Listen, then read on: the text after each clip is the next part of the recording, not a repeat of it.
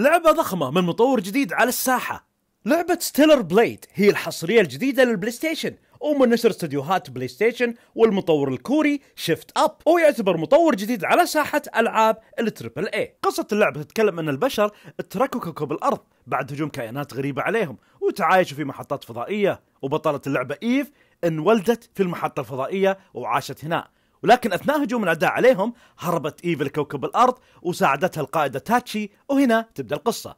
بحيث تحاول إيف استكشاف كوكب الأرض وحل الغموض اللي كان سبب في هجوم الكائنات الفضائية عليهم واللي اسمهم نايتبا وبعدها إيف تعرفت على شخص اسمه آدم ويعتبر أحد سكان الأرض وياخذها لمدينة شيون وتعتبر الملجأ للبشر. وأيضا تتعرف إيف على ليلي البنت المرحة واللي تشتغل مهندسة وتصنع لك الأسلحة والأدوات. وآدم وليلي بيساعدون إيف على اكتشاف الغموض.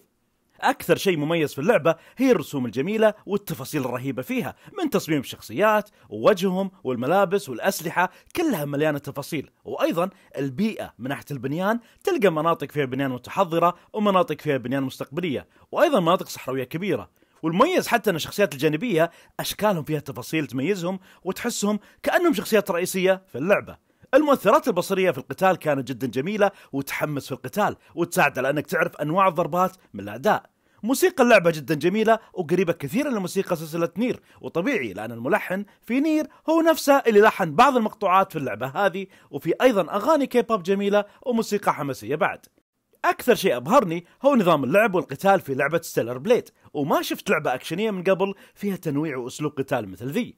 ففي الضرب العادي اللي يعتبر يصير combo بسيط. لكن لما تغير الأزرار يتغير ال combo والحركات بشكل جذري. فمثلا لو ضغطت مثلث آخر ال combo تسوي حركة دورانية في الهواء تضرب أعداء كثار. وإذا غيرت الأزرار في ال combo تخلي السيف يجي عليه كهرب وتضرب فيه. وفي أيضا combo هات كثيرة مختلفة في الاستخدام والضربات. وفي قدرات خاصة اسمها ال beta skills. هي أربع قدرات مختلفة مثل ضربات طعن قوية ورا بعض أو ضربة سيف دورانية قوية. وطبعا تستهلك من طاقة البيتا لما تستخدمها.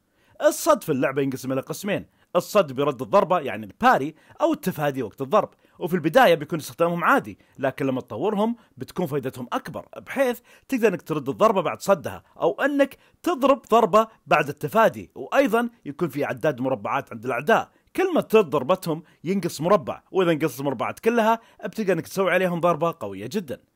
لكن أجمل نظام عجبني كان نظام البرست واللي فكرته إنه يكون الأعداء ضربات معينة بلون معين وتتغير ردة فعل إيف اتجاههم. فمثلا الضربة الزرقاء تخلي إيف تروح ورا العدو وتضربه ضربة دوخة واللون البنفسجي يخلي إيف تتفادى العدو إنها تقفز للخلف وراح يدوخ العدو ويبان نقطة ضعفه وبعدين إيف تتخذ المسدس وتضربه.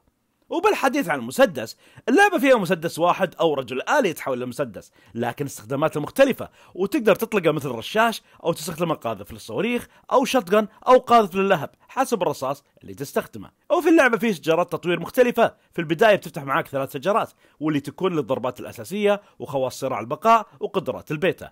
وفي أيضا مخيمات منتشرة في الخريطة. عن طريقها تقدر إنك تشتري أغراض وأدوات أو إنك تطور في شجرة التطوير. وإذا استخدمت الكرسي للاسترخاء فبترجع طاقتك وتتعبى شنطة الدواء اللي عندك. لكن الأعداء اللي قتلتهم راح يرجعون للحياة مثل ألعاب ال Souls تقريبا. وبعض المخيمات بتكون كبيرة بحيث يكون فيها منصة ترقي قوة سلاحك وعدد الأدوية اللي في شنطتك وغير الكثير. اللعبة تقدم محتوى كبير جدا من ناحية المهمات الجانبية والاستكشاف في عالمها الكبير. لكنه مو ضخم مثل باقي ألعاب العالم المفتوح. وفي نقاط تنقل سريع متوزعة في الخريطة. تسهل الاستكشاف فيها. وأيضا بعض المهمات الجانبية تكون عبارة عن قصة قصيرة فيها عمق وجميلة وتقابل شخصيات جديدة وتساعدهم في حل مشاكلهم. وجدا عجبتني المهمات هذه. أما باقي المهمات تأخذها من لوحة في المدينة وبعدين تروح تسوي المهمة وترجع للوحة وتسلمها. ما في أحد تقابله ولا شيء. بعضهم كان مثير للاهتمام مثل تحل لغز معين وبعضهم روح جيب ذا وودي ذاك. وفيها نوع من التكرار الممل.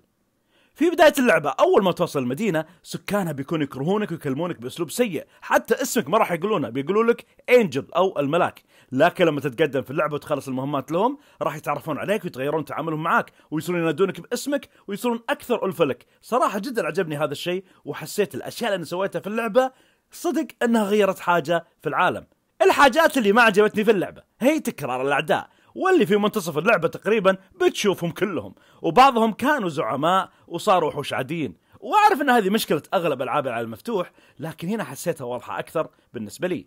وأيضا هذا شيء مرة فضاطي عدم وجود خريطة مصغرة صعب علي مهمات الاستكشاف لأن المنطقة كبيرة وتضيع وكلها لفات ولازم أدخل كل شوي الخريطة أشوف وين أنا فيه وين أروح وكذا. وحتى اللعبة فيها بوصلة تساعدك لكن المصيبة الكبيرة إن البوصلة هذه تختفي من نفسها بعد فترة بسيطة. وما أعرف ليش حاولت أدور في الإعدادات عن شيء فيها لكن ما في فايدة. والطريقة الوحيدة إني أرجع البوصلة هي عن طريق إني أدخل مهمات وأحدد المهمة مرة ثانية وبعدين تطلع لي البوصلة مرة ثانية. ما أدري هل هذا شيء متعمد ولا راح يتعدل بتحديثات مستقبلية. لعبة Stellar Blade جتنا مفاجأة من مطور جديد في ساحة ألعاب ال triple A فيها نظام لعب متنوع ومصقول جدا ومحتوى كبير ورسوم وموسيقى ممتازة وقصة جميلة ورهيبة. فإذا كنت تحب ألعاب المغامرات بنظام قتال عميق ورهيب فيمكن اللعبة هذه راح تعجبك.